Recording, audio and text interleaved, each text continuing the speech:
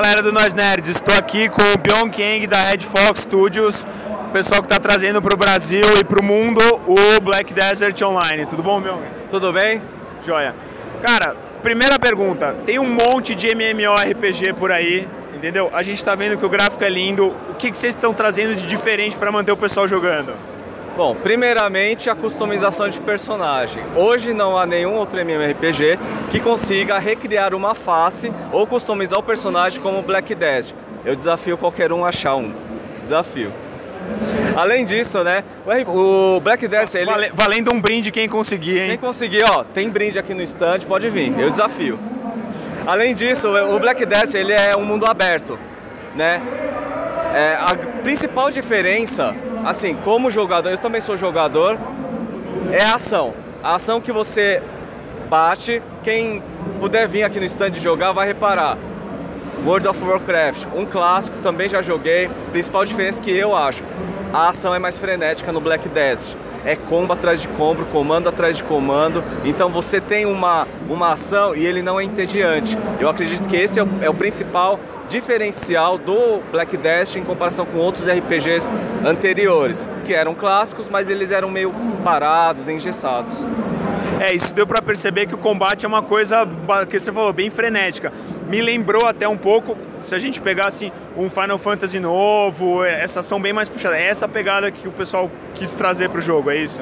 Exatamente. Vocês podem ver que as skills são bem é, espalhafatosas, né? Vamos usar uma palavra difícil.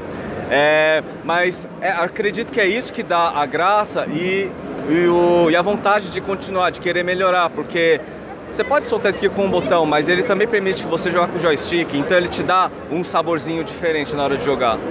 Isso é legal também te perguntar, tem para PC, tá saindo para PS4 e Xbox One também. Vai rolar uma, uma um multiplayer não, né? Não. É, não. A, gente, sabe que não depende de vocês, depende dos estúdios. A gente está esperando isso, seria muito bom. Me conta um pouco das classes que tem no jogo.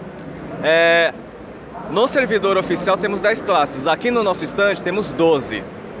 O que acontece? São duas classes que ainda não foram lançadas, chamada é, Musa e Merwa. São duas classes de guerreiros orientais que ainda não estão no servidor.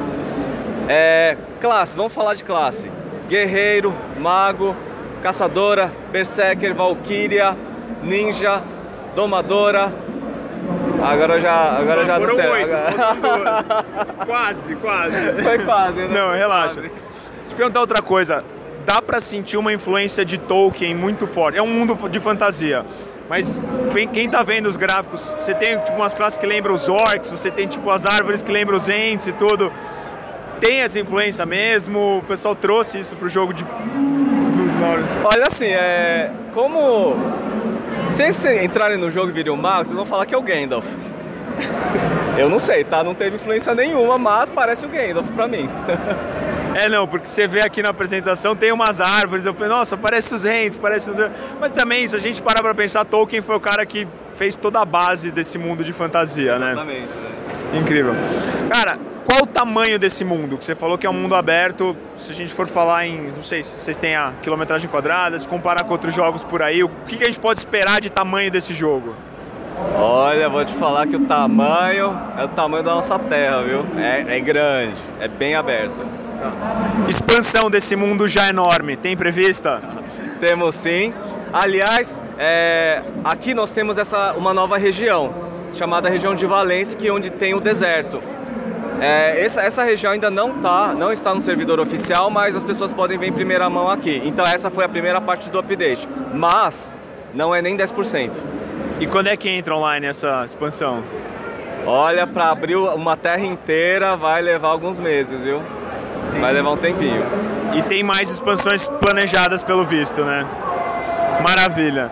Deixa eu fazer uma última pergunta que a gente está perguntando para todo mundo. A gente do blog, a gente gosta muito de unir o pessoal, a gente assim não aceita hate de outros consoles, de plataforma. A gente acredita que assim, videogame, o mundo online hoje é o playground que a gente tinha quando a gente, né, que é um pouquinho mais menos novo, a gente ia pro playground fazia os amiguinhos lá online, é isso que a gente está vendo hoje em dia.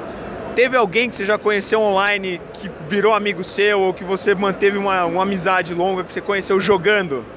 Olha, eu pessoalmente não tenho, mas tem gente da equipe que casou com amizade no WoW. eu não vou falar quem é, mas tá aqui no stand. Beleza, depois a gente descobre. Galera, essa foi a entrevista. Brigadão, Byong. Prazer conhecê-lo. E, cara, parabéns pelo jogo, tá lindo. Obrigado.